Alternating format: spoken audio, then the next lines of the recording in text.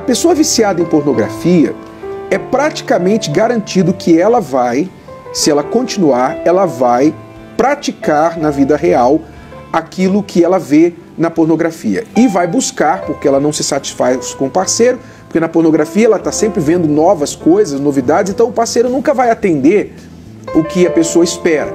Então ela vai buscar fora do casamento.